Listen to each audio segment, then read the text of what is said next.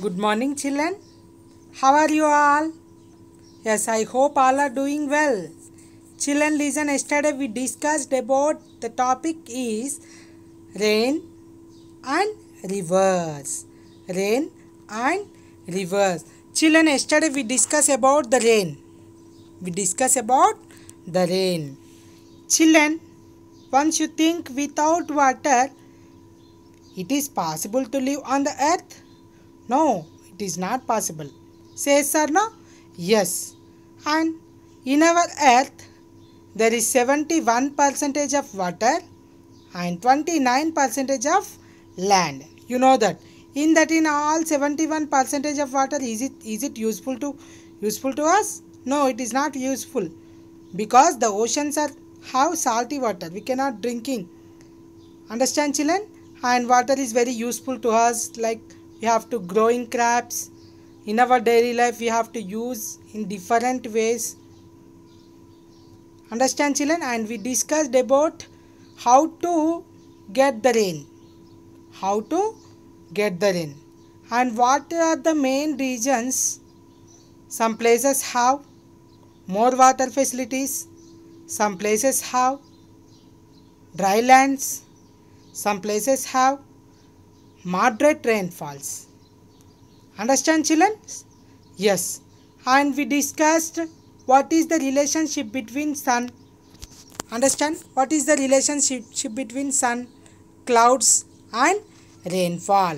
What is the relationship between sun, clouds, and rainfall? What is the main reason to get the rain? To get the rain, you know that it is the main reason is evaporation. Understand, children? Evaporation. Yes. Here given one paragraph yesterday you get and you you learn about this paragraph after the unbearable heat of April and May. Understand, children? After after unbearable means uh, we cannot bear. We cannot bear means we cannot bear. Understand, children? And uh, heat in the summer season we get more temperature. You know that at the time all water bodies are dry up. You know that all. Suppose in in your village pond also it will be dry up in the summer season. What is the reason? Main reason it becomes evaporate. It becomes evaporates the water will becomes evaporate. Due to the reason of the temperature will be increasing. The temperature will be increasing means the water will dry up. Means this process is called evaporation. Understand children? This process is called evaporation. And here given there. One interesting story about pranavi. Pranavi woke up in early morning in the uh, early in the morning and she needed to take bath with hot water. That's why she heated water in the fire in a dish on fire. Understand children yes.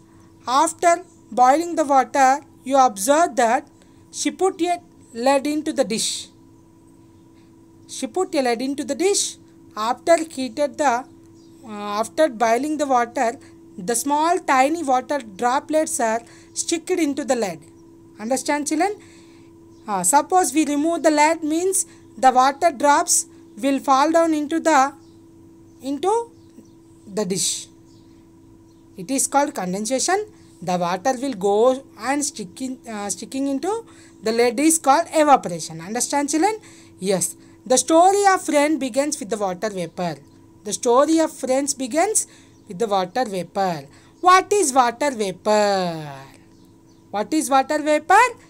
Water dry up and it will become small water drops and it mixes with the air. Is called vapor understand children? Evaporation means water mixes with the air. It is called evaporation. Understand children? And all the human beings means our body. And trees and plants and all the oceans and all the rivers lakes ponds in it get evaporates the water. Evaporates the water and yesterday we discussed about what is the relationship between what is the relationship between sun clouds and rainfall. What is the relationship between sun clouds and rainfall? Understand children? Yes. Suppose we to uh, uh, your wet clothes your wet clothes you keep outside. You keep outside. Understand outside means uh, near the sun near the sun rising open area like open area. After some time you observe the clouds. There is no water means the clouds will be dry up. It is called evaporation. It is called evaporation. Today we are going to discuss about the topic is formation of clouds and rain. Formation of clouds and rain let us start the topic. Yes write down the main points in your notebook children. Don't neglect. You underline all the hard words in your textbooks. Understand children? Underline those hard words in your textbooks and write down the main points in your notebooks. Listen carefully. Yes let us start the topic. Formation of clouds and rain. Formation of clouds and rain. Listen carefully okay children let us start the topic formation of clouds and rain. Yes children it is a picture. I'll take to you to explain cloud formation. To explain cloud formation. When there is a temperature when there is rise in the when there is rise in the temperature water vapor rises and reaches high up understand children? Yes. What is the reason temperature will be uh, increasing? Means the sun rises very brightly. Means the temperature will be increasing. Understand children? All the uh, water bodies. Means water bodies means like oceans seas and rivers like that. Okay na children? Yes. Water vapor means evaporation. See children here this water will becomes like small small dots and mixes with the air. Is called moisture it is called moisture understand children? It will be goes upside like this. It will be goes upside. Understand children? It is called evaporation. It is called evaporation. It is called evaporation. Listen one more time. When there is rise in temperature water vapor rises and reaches high up in the sky high up in the sky. And after what happened? Yes small the water droplets will go to small upside like this. See upside like this means understand children? Yes. After that after that listen carefully. Yes, the water droplets are slowly goes upside. It is called evaporation and it gets cooled. While, while going upside, it will becomes, it will get cooled. This is because, this is because the atmosphere gets cooler. Highs we rise, highs we rise above the surface of the earth. Yes, the atmosphere will be cool after going the droplets reaches the sky means that the droplets are becoming very cool means the because the reason means the reason it is the atmosphere gets cool after see we rise above the surface of the earth with the cooling water vapor transformed into tiny water tiny water droplets tiny water droplets like this small small water droplets. Understand children?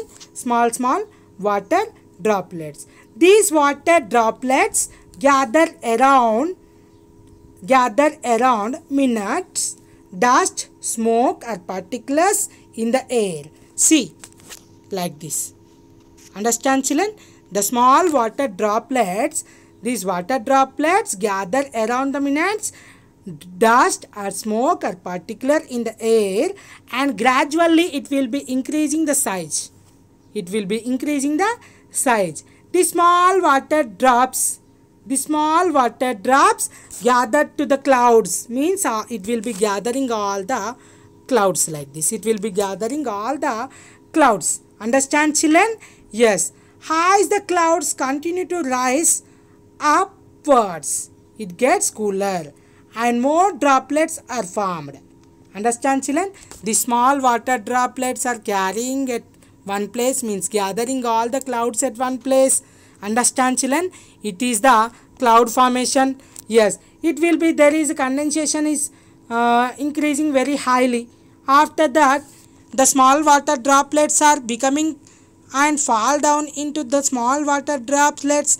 Uh, yes, non-stoply. It gets rain. It gets rain. Next, we have to learn this is cloud formation. Understand children? Next, what is water cycle? I will show the figure of water cycle. This is also water cycle. You observe the picture. Yes, see the land here, the land and here it is ocean. In that ocean in the temperature will be decreasing means that water will become small water droplets and it will be mixes with the air. It is called evaporation. Yes, while going the water droplets with the evaporation with upside after that it will be going uh, it will be uh, there is a temperature will be decreasing and all the clouds are gathering. See the small water droplets are gathered at one place and it will be like a dust or smoke or particles in the air gradually increasing the size and forming all the clouds. Understand children? And forming all the clouds here. Yes? Understand? It is the formation of clouds. And after that, the small water droplets, as they get heavier, it gets more and more difficult for them to remain in the air.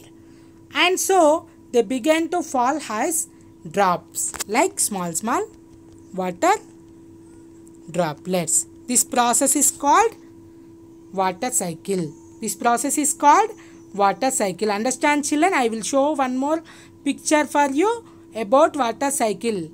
Understand? Yes, listen carefully. Yes, children, observe the water cycle.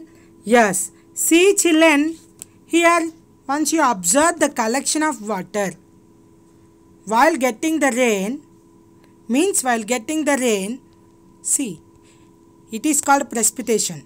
It is called precipitation. See children, the temperature means here the sun rising very brightly in the summer season.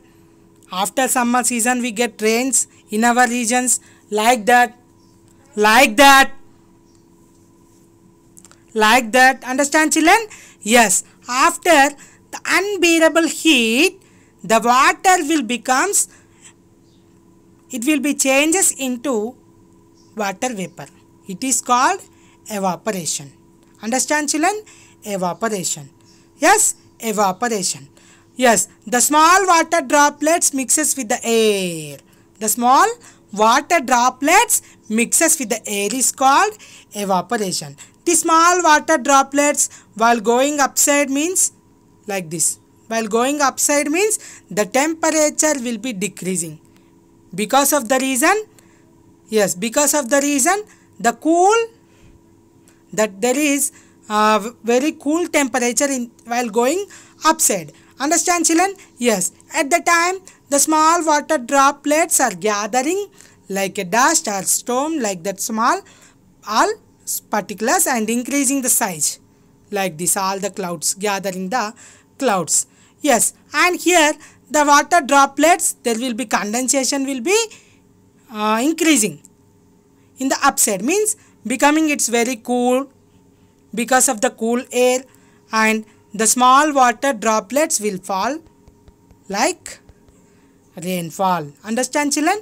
Like rainfall. It is called precipitation.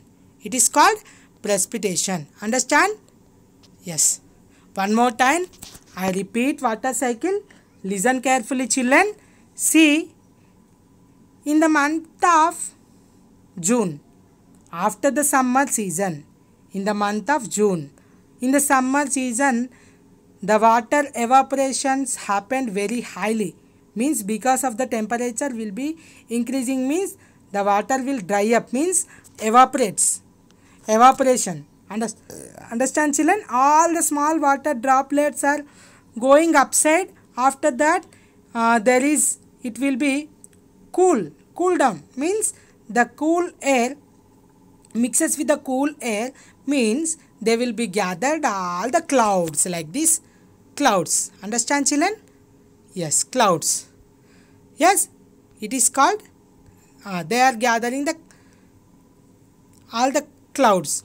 After that the condensation will be increasing. The small water droplets are falling down. It is called precipitation means rain. It is called precipitation. You observe in the rainy season the rain water the rainwater flows into the all water bodies like small rivers. It will be flowing into the rivers. After that, all rivers are joining into the big seas or oceans. Okay, now understand children? After in the summer season, again evaporation will be happen.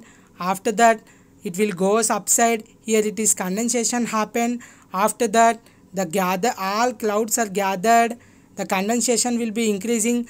The water droplets are changing into small water droplets and it will be falling to the downside. It will be called a rain. It is called precipitation. Understand children? It is called precipitation. Yes it is called precipitation. Rain falling. Yes after that it will be collection into the rivers and ponds. And again the cycle happened. The cycle happened non-stoply we get the rains. We get the rains. Yes children i hope you understand. I hope you understand. Well. If you have any doubts, please contact me. Understand children? And today's homework is draw the water cycle. Draw the water cycle. Draw neatly and add by using all the colors. Yes? And in the next class, we discuss what are winds or clouds and what is how to form the rivers we discussed in the coming next class. Take care. Bye.